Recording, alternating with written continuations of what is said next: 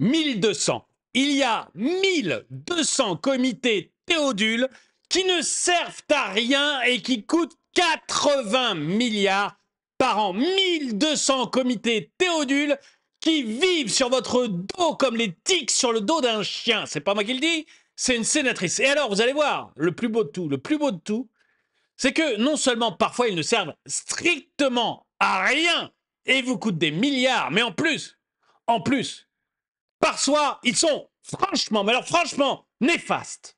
Bonjour et bienvenue dans cette nouvelle vidéo de DME en direct. Comme toujours, si vous n'êtes pas abonné, bah, je vous suggère de le faire et de cliquer sur la cloche pour être prévenu lorsque je sors une nouvelle vidéo. Et à la fin de la vidéo, je vous parlerai de la boutique de la chaîne. N'hésitez pas à y faire un tour. Alors, il faut que je vous montre ça parce que ça se passe au Sénat. Ça se passe au Sénat. Vous savez que depuis quelque temps, j'ai un faible pour le Sénat. Parce que toutes les couillonneries sur l'électricité, sur le vaccin, sur les cabinets McKinsey, sur euh, les confinements, sur le Covid-19, toutes ces couillonneries d'Emmanuel Macron, c'est à chaque fois le Sénat qui les a sorties. Les comptes surprenants, on va le dire comme ça, les comptes surprenants de Bruno Le Maire, c'est le Sénat qui a enquêté dessus. À chaque fois, le Sénat sort des trucs actuellement. Je ne sais pas ce que c'est que cette génération de sénateurs, mais ils se sont réveillés tout d'un coup et ils nous font, depuis l'arrivée d'Emmanuel Macron, des très, très bons rapports. Et là, vous allez voir une sénatrice, une sénatrice qui euh, euh, nous parle de ces comités théodiles, de ces machins qui nous pompent un fric monstrueux et qui sont franchement inutiles. Et après, après, je vous montrerai une vidéo de Carl Zero où, vous verrez que non seulement ils sont négatifs, ils sont inutiles, mais en plus, pour certains d'entre eux, ils vous coûtent extrêmement cher et sont carrément, carrément, extrêmement dangereux pour vos enfants. Je vous montre tout ça. Merci, Monsieur le Président. Monsieur le Ministre, quel bonheur de prendre la parole et d'avoir quasiment l'assurance de faire l'unanimité au sein de cette noble Assemblée. ADEME, ANACT, ANA, ANCT, ANRU, ANSP, ANSES, Agence de l'eau, AFPA, AREC, ARS, EPF, IGN, INSPE, OFB et autres comités théodules. On en décompte entre 438 et 1200. C'est dire si les gouvernements successifs s'en sont désintéressés. Ils emploieraient plus de 450 000 personnes et coûteraient plus de 80 milliards d'euros en 2023 contre 50 en 2012, soit une augmentation trois fois plus rapide que l'inflation. Trois fois plus rapide. Vous, l'inflation, l'an dernier, elle vous a massacré, laminé. L'an dernier, elle vous a pris à la gorge. Eux, il n'y a pas de problème. Leur rémunération, leur taille augmente trois fois plus vite que l'inflation. Non seulement ils vivent comme des tics sur le dos d'un chien, mais en plus, ils vous pompent le plus d'argent possible, 80 milliards. Vous vous rendez compte qu'on est en train de faire suer tout le monde, toute la nation, sur des, remboursements de soins médicaux, sur des franchises dans la médecine, sur on, va retarder l'indexation des pensions de retraite. On va probablement vers une réforme des retraites. On est en train de faire suer toute la nation on va augmenter votre prix de l'électricité l'année prochaine en janvier. On fait suer toute la nation pour 60 milliards. Et à côté de ça, vous avez 1200 comités théodules dont tout le monde se fout, dont on ne sait même pas réellement à quoi ils servent, et qui vous en coûtent 80. Dans n'importe quel gouvernement normalement constitué, ou plutôt n'importe quel gouvernement dont les copains ne seraient pas les patrons de ces différents comités théodules? Eh bien, on aurait un réflexe simple, c'est un Premier ministre qui prend la page et qui raye d'un trait de plume l'ensemble de ces comités. Terminé. Bye bye. Au revoir. Allez vous chercher un boulot qui sert à quelque chose, s'il vous plaît. Mais non, non, non, non. Là, c'est sur vous qu'on va aller chercher l'argent c'est sur vos remboursements de lunettes, c'est sur vos remboursements de soins médicaux, c'est sur votre retraite. C'est là qu'on va aller chercher le fric. tout en excellant dans l'engraissement. Parce que c'est vous qui devez payer, vous comprenez? C'est jamais eux. Jamais. Eux, ils ont tous les droits. C'est vous qui devez payer. des cabinets d'études. C'est un véritable engouement pour les agences et cela vaut aussi pour les collectivités friandes de GIP, SEM ou agences de développement qui s'autoconcurrencent. Réfléchir aux agences, c'est réfléchir à l'État, nous disait le rapport annuel du Conseil d'État en 2012. 12 ans plus tard, réfléchir ne suffit plus. Au moins ça. Mais ont-ils réfléchi, madame Madame la sénatrice, 12 ans plus tard, ont-ils réfléchi Ou est-ce que ce rapport est juste allé euh, caler une bibliothèque dans un coin obscur de Bercy? À mon avis, c'est le cas. Cinq agences sont chargées de l'agriculture et de l'alimentation. De même, dans le domaine de la biodiversité et de l'environnement, où ces entités opèrent souvent indépendamment, mais sur les mêmes sujets. Et j'en passe. Pour mes collègues qui... Cinq agences sur les agriculteurs. Et vous m'étonnez que les agriculteurs sont en train de crever. Vous savez, les agriculteurs, j'ai fait, j'ai fait une vidéo. Non, je ne l'ai pas faite, la vidéo. Si, je l'ai fait. J'ai, fait, parce qu'il y avait deux vidéos sur les agriculteurs. Il y en a une que j'ai pas faite, euh, j'ai pas eu le temps, et puis l'autre, je l'ai faite. Mais je l'ai fait. En fait, euh, vous voyez que le nombre d'agriculteurs a diminué depuis les années 80 en France, de manière très importante, mais que le nombre de salariés du ministère de l'Agriculture a augmenté de manière très importante. Et euh, on, arrive à des chiffres complètement délirants. Alors, je les ai plus en tête, mais je vous dis ça de mémoire. On avait un, euh, fonctionnaire pour 66 agriculteurs, un fonctionnaire de l'agriculture pour 66 euh, agriculteurs, et maintenant, on doit avoir un fonctionnaire pour 10 agriculteurs. Voilà. Et on est bientôt, il y aura un fonctionnaire derrière chaque agriculteur tel que c'est parti. Mais ces agences-là, elles contribuent à ça. Elles contribuent à ce genre de débilité dont le seul but est de casser les pieds aux gens. Ils sont noyés dans les acronymes. Ils reconnaîtront peut-être le CEREMA au cahier des charges improbables, coûteux et inapplicable. À l'heure où votre ministère fait naître une lueur d'espoir, et j'insiste, sur l'effectivité de la simplification et de la transformation de l'action publique. Vraiment une lueur. Hein. Madame la sénatrice, je ne veux pas être méchante avec vous, mais à mon avis, ça restera une lueur et euh, ça n'ira pas plus loin. Il est nécessaire, indispensable et urgent qu'un état des lieux soit réalisé afin de rationaliser et regrouper cette débauche de bonne volonté. À l'aune d'une stricte sobriété budgétaire et d'un énième projet de loi de simplification, nous avons bien entendu vos engagements et ceux du Premier ministre. Aussi, quelle est votre capacité à faire bouger les lignes et dans quel délai Lorsqu'il y a une volonté, il y a un chemin. Quel est le vôtre Madame la sénatrice, il n'y aura pas de chemin parce qu'il n'y a aucune volonté. Si vous voulez vraiment réduire, simplifier l'administration, réduire l'administration, vous prenez pas 41 ministres. de Gaulle en avait 22. De Gaulle en avait 22. Et j'ai pas pour souvenir que De Gaulle ait été un nul en administration et que ça a été la chienlit. Voilà. J'ai pas pour souvenir qu'on me dise que De Gaulle ne pesait rien sur la scène internationale. Et que ça a été un petit président.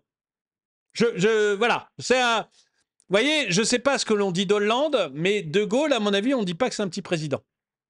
Et pourtant, De Gaulle, 22 ministres, en fait 19 et euh, 3 euh, secrétaires d'État, donc 22. 22. Et aujourd'hui, nous, 41. Madame la, sénatrice, c'est très simple. Si on voulait faire de la simplification administrative, on couperait. Je rappelle que les Allemands en ont 18, je crois. 18 ministres en Allemagne. Je, rappelle euh, qu'en Suisse, ils sont 7. Et Milley, euh, en Argentine, de mémoire, en a moins de 10. Si vous, on voulait vraiment faire de la simplification administrative, si on voulait faire ce genre de choses, on ne pondrait pas un énième projet de loi. Il y en a tous les ans et ça marche jamais, on n'en a rien à faire. Si on voulait simplifier, on dirait attendez, c'est très simple. J'ai un Premier ministre, j'ai un ministre de l'Intérieur, j'ai un ministre de la Justice, j'ai un ministre des Armées, j'ai un ministre des Affaires étrangères. À côté de ça, il me faut un ministre du budget, parce qu'il y a quand même un budget à tenir. J'ai besoin d'un ministre du budget. À la limite, à la limite, je peux accepter encore un ministre de la, Santé et un ministre de l'Éducation nationale. C'est tout. Et tous les autres, on ferme. On s'en fout. On ferme. Je l'ai déjà dit plein de fois, mais euh, euh, quel est le pays qui a le plus de médailles aux Jeux, aux Jeux Olympiques? Les États-Unis. Les États-Unis n'ont pas de ministre des Sports. Quel est le pays qui a, dont la culture est très nettement dominante dans le monde aujourd'hui? Les États-Unis. Les États-Unis n'ont pas de ministre de la culture. Voilà. Mais c'est très simple. hein, Vous voulez faire des économies Vous coupez comme ça, vous allez voir déjà le nombre d'économies que vous allez faire. Alors c'est sûr, il n'y aura plus de place pour les copains. Ah, ça va être embêtant. Ah, ça va être embêtant. Vous avez plein de copains que vous n'allez pas pouvoir recaser. Mais ça fonctionnera beaucoup mieux. Et si vraiment vous voulez aller au bout des choses, vous dites le ministre de l'Éducation nationale, il ne contrôle pas les écoles. Il, toutes les écoles sont privées, toutes, toutes. Et le ministère paye les frais scolaires. Il donne un chèque de scolarité. Donc il paye. Vous envoyez votre, enfant à l'école euh, de Bouillon ou à l'école Mohamed Ali. Eh bien, quel que soit le choix, l'État paye, je ne sais pas, 1000 euros par mois pour votre enfant. Je ne connais pas le prix, mais voilà. Mais vous, en tant que parent, vous choisissez si vous mettez votre enfant à l'école Godefroy de Bouillon ou à l'école Mohamed Ali. Vous choisissez.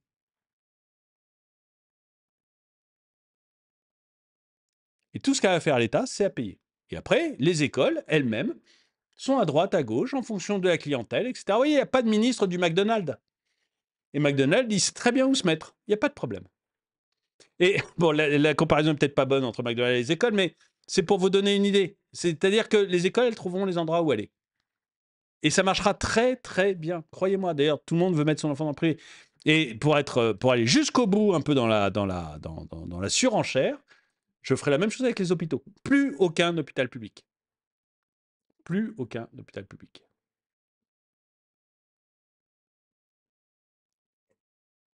Et je suis même pas sûr que je continuerai à la sécurité sociale. J'aurais tendance à dire la mutuelle paye au premier euro. Et tout ce qu'a fait le ministre et les euh, députés, c'est de décider quel est le minimum à payer. Vous n'avez pas de, ministère de votre voiture. Et vous n'avez pas une, ass- une- une assurance étatique de la voiture. Pourtant, vous êtes assuré. Et l'État a défini ce qu'était l'assurance minimum, l'ARC. Eh ben, on pourrait imaginer que vous n'ayez pas non plus une assurance de la santé étatique, la sécurité sociale, mais plein de mutuelles, plein d'assureurs qui vous proposent leur mutuelle actuelle, ce que vous avez aujourd'hui. Et l'État, lui, n'a qu'à définir ce que c'est qu'une une assurance santé minimum. Et après, les mutuelles, à partir de ça, vont vous dire, bah voilà, assurance santé minimum, c'est ça, donc on le propose obligatoirement. Et puis, on propose euh, en plus euh, de prendre en charge vos dents, vos lunettes, de prendre en charge ceci, de prendre en charge cela, comme elles le font aujourd'hui. Sauf qu'elles le feront au premier euro. Et après, vous la, rendrez, vous la rendez obligatoire si vous voulez. Enfin voilà, mais bon, là, mon cas est extrême. Mais si vous voyez, si on voulait vraiment, je pense que même si on rentre pas dans mon cas extrême, puisque je suis libertarien, donc, euh, donc voilà, mais même si on rentre pas dans mon cas extrême, si vous voulez vraiment réduire euh, euh, la taille de l'État et la, complexité administrative, vous, vous revenez au nombre de ministres du général de Gaulle. Vous voyez, c'est pas. Je demande pas un truc hyper incroyable de, de, de, de, de- libéralisme monstrueux.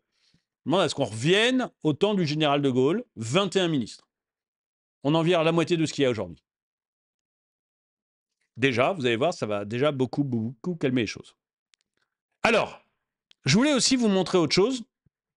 C'est, euh, j'ai hésité à vous le montrer au début, et puis je l'ai écouté, je me suis dit, c'est quand même impressionnant. C'est euh, Carl Zero qui nous parle de l'ASE. Ça vous coûte 10 milliards, l'ASE. Et d'après Carl Zero, c'est franchement scandaleux. Je vous laisse écouter. Je vous laisse écouter. Le numéro 13 de l'envers des affaires est enfin en kiosque. Et ça valait le coup d'attendre. En fait, c'est à hurler. Chaque jour que Dieu fait, l'aide sociale à l'enfance place abusivement des gosses pour des raisons stupides, grotesques. Attention, on parle là de 330 000 enfants. 80% d'entre eux n'ont aucune raison d'être placés. Mais l'ASE fait du chiffre, au bénéfice d'associations qu'elle agrée et qui se gavent sur le dos de ces mêmes gosses avec notre pognon. Ce système à la con, il nous coûte 10 milliards par an. Vous imaginez à nous, les contribuables. T'as compris comment euh, montrer patte blanche à Bruxelles, Barnier? Et bien entendu, pendant ce temps-là, les incesteurs à répétition continuent de passer au travers des mailles du filet, d'une justice aux abonnés absents. Les petites victimes continuent à subir viols, abus sexuels, tortures, et bien rares sont les services sociaux et les magistrats qui se bougent pour les sortir de l'enfer. Au contraire, il les expédie dans des familles d'accueil qui les martyrisent. On vient de le voir encore dans le Nord, récemment. Ou plus délirant encore, il les confie aux pères prédateurs pédophiles. On rêve Notre dossier est sans appel. Le système de protection de l'enfance en France est à la fois fou, voleur et moribond.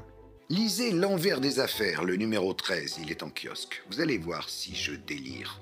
Delon, dernier secret. À son décès, j'ai trouvé ce titre. Et j'en étais assez fier, mais finalement je le trouve sensationnaliste et réducteur. Pourquoi Delon d'ailleurs, me direz-vous, dans l'envers des affaires? Alors, je vais arrêter là parce que, euh, voilà, Delon, c'est pas, pas le sujet là.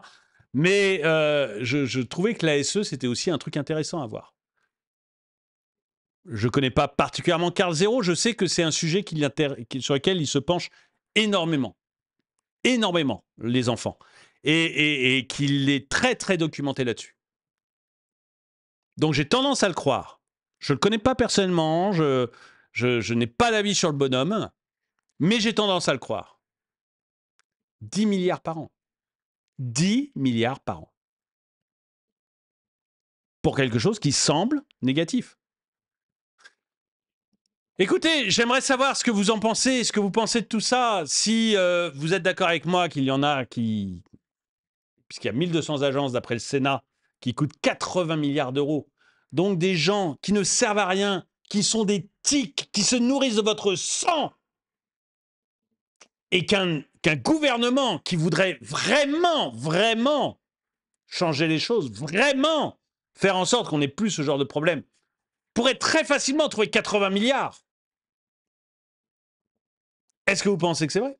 Ou est-ce que vous pensez qu'on a besoin, absolument besoin, de l'ADEME, de l'ANAC, de l'ANA, de l'ANCT, de l'ANRU, de l'ANSP, de l'AFPA, de l'ARS, de tous ces comités théodules Dites-le moi dans les commentaires. Est-ce que vous ne pensez pas que s'ils protègent ces, ces comités théodules, c'est tout simplement parce qu'ils veulent des postes? Parce que les copains ont des postes.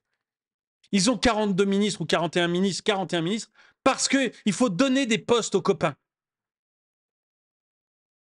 Et ça ne changera pas tant qu'on aura cette mentalité de donner des postes aux copains. Ou est-ce que vous pensez que non, c'est absolument nécessaire d'avoir 41 ministres? Dites-le moi dans les commentaires et j'aimerais aussi que vous me parliez. Je n'avais pas prévu, vous voyez, au début, de vous parler de, de Carl Zero, mais j'aimerais savoir ce que vous avez comme, euh, comme info et comme pensée sur euh, l'ASE et euh, a priori sur les placements abusifs qui sont faits par l'ASE. Est-ce que vous croyez Carl Zero? Est-ce que vous croyez que c'est un vrai scandale? Dites-le moi dans les commentaires. Et donc, je vous invite à aller dans la boutique de la chaîne, donc euh, lien dans la description ou chaîne YouTube, onglet boutique, et là vous allez trouver bah, des polos comme celui-ci, des pulls, des suites, des mugs, comme celui-là. Euh, plein, plein, plein de produits de très bonne qualité. Honnêtement, ça vaut le coup d'aller voir. Allez jeter un coup d'œil dans la boutique, ça aide la chaîne, et, et vous allez probablement trouver ce qui vous plaît. En tout cas, merci d'avoir regardé cette vidéo. Mettez-lui un pouce vers le haut, commentez-la, partagez-la. Merci à tous ceux qui soutiennent la chaîne, et moi je vous dis à très bientôt.